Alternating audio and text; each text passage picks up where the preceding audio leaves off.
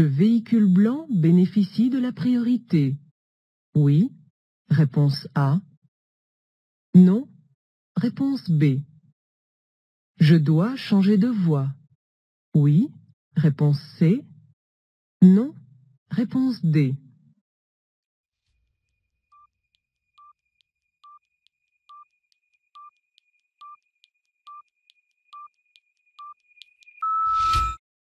Le véhicule blanc circule dans une voie d'insertion.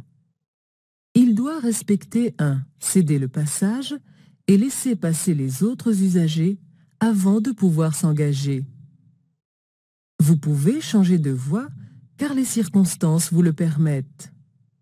Mais ce changement de voie n'est pas une obligation car c'est au véhicule blanc d'adapter son allure afin de s'insérer dans de bonnes conditions.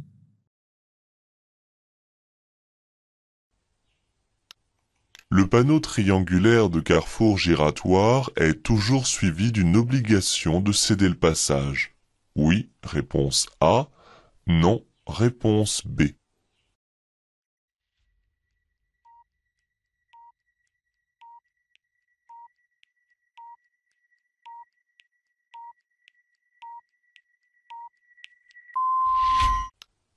Attention, il y a deux types de ronds-points une catégorie qu'on trouve plutôt en agglomération, où ceux qui sont sur l'anneau cèdent le passage à ceux qui entrent. Dans ce cas, il n'y a aucune signalisation au sol ou par panneau. L'autre catégorie plus courante est obligatoirement dotée du panneau triangulaire. Ce panneau oblige à céder le passage en entrant sur l'anneau. Parfois en agglomération il n'y a que le marquage au sol au niveau de l'anneau.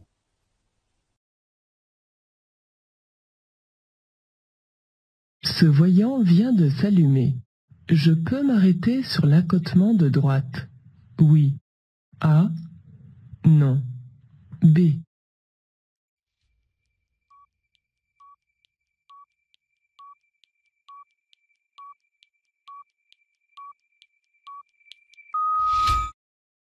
Le voyant orange qui vient de s'allumer m'informe qu'il ne reste plus beaucoup de carburant. Comme dans cette situation, je peux encore parcourir quelques dizaines de kilomètres, je n'ai aucune raison de m'arrêter sur l'accotement de droite, qui est une bande d'arrêt d'urgence. Je ne dois l'utiliser qu'en cas de nécessité absolue, panne, accident, crevaison, malaise. Je m'arrêterai à la prochaine aire équipée d'une station-service. Le croisement est impossible dans cette côte. J'effectue une marche arrière. Réponse A. Le véhicule en face doit effectuer une marche arrière. Réponse B.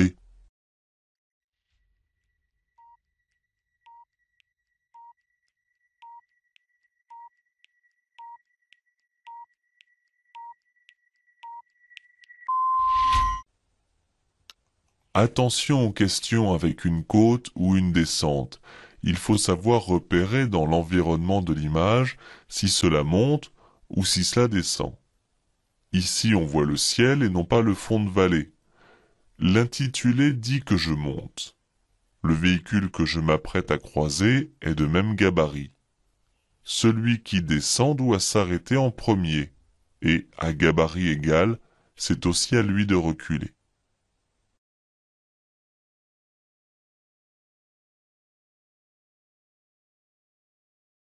La batterie fonctionne mal. Je peux circuler sans feu.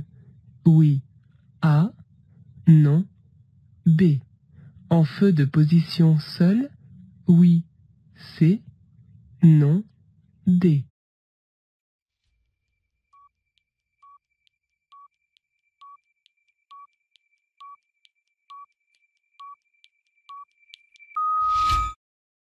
Il est interdit de circuler de nuit sans feu même si la chaussée est bien éclairée.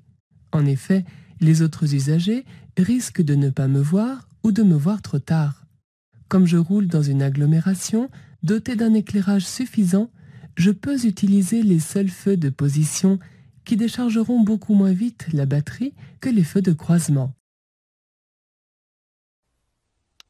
Si je ne laisse pas passer ces piétons, Je risque une perte sur mon permis de conduire de 1 point. Réponse A. 2 points. Réponse B. 3 points. Réponse C. 4 points. Réponse D.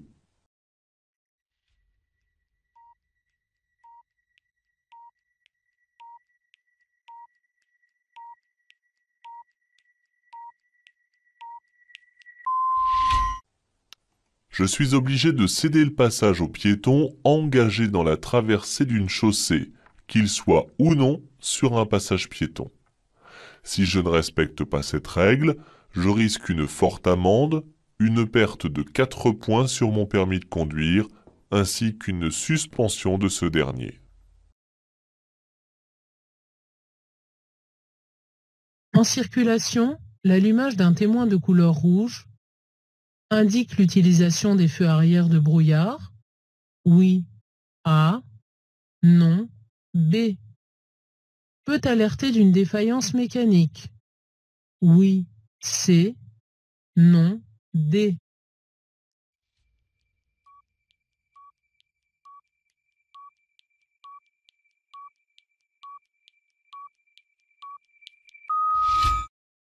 Le témoin d'allumage des feux arrière de brouillard n'est pas de couleur rouge, mais orange. En circulation, si un témoin de couleur rouge s'allume, c'est pour attirer l'attention du conducteur sur une défaillance mécanique, le serrage du frein à main ou bien le fonctionnement des feux de détresse.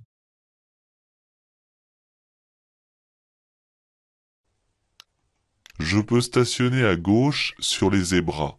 Oui, réponse A. Non, réponse B.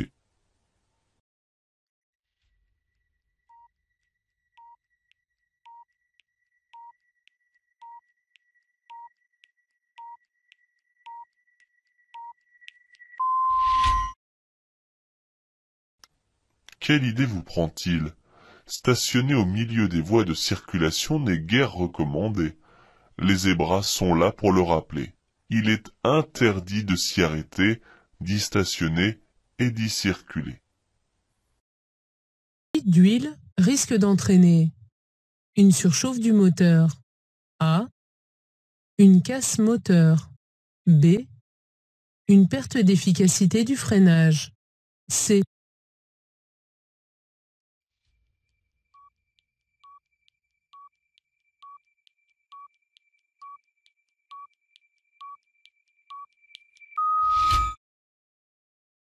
L'huile contribue au refroidissement du moteur.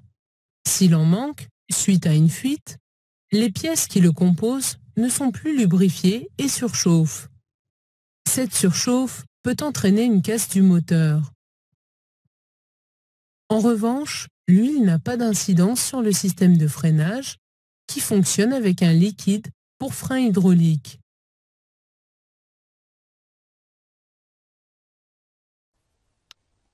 Sur ce large boulevard, le stationnement à contresens est toléré. Réponse A. Interdit. Réponse B.